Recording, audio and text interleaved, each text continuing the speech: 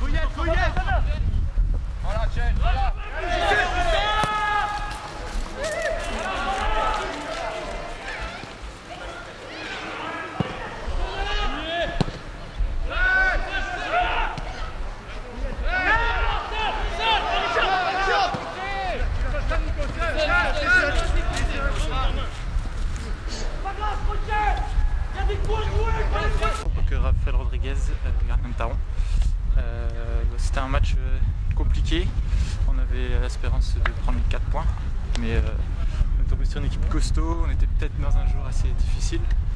Et euh, moi, le, point positif que je retiens, c'est qu'on a réussi à pas prendre de but, c'est un point important.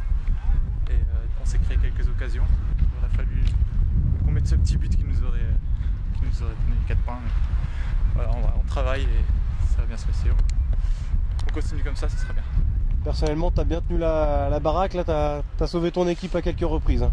Euh, bah, eux, ils jouaient essentiellement en contre, donc ils ont réussi à avoir une ou deux occasions. Euh, c'était, j'ai pas trop été sollicité, donc euh, ce qui est difficile quand on est gardien, c'est justement ces matchs on n'est pas trop sollicité. Donc, on a deux, interventions à faire dans le match, il faut savoir bien les faire. Et euh, j'ai réussi à, préserver ma cage en violet. Donc voilà, c'est le, le, petit plus. Il y a du mieux, euh, vous restez sur une fin d'année assez encourageante. Là, on redémarre 2015 sur des, sur des bonnes bases. Il y a, des motifs d'espoir? Oui, bien sûr, bien sûr. Euh, là, ça fait trois matchs sans défaite, euh, sachant que nous, au début d'année, on a enchaîné pas mal de défaites après notre, notre victoire à Sainte-Savine en début de saison. Et donc là, trois matchs sans défaite, c'est une bonne période pour nous et il va falloir qu'on puisse réussir à gagner ces matchs maintenant pour, pour essayer de s'éloigner de la zone de relégation. Prochain rendez-vous Prochain rendez-vous euh, à l'extérieur à Forbach dans deux semaines une équipe, euh, une équipe solide qui joue aussi le maintien. Donc il euh, va falloir aller chercher des points là-bas. Vas-y vas-y, s'appote, s'appoise, Viens, reviens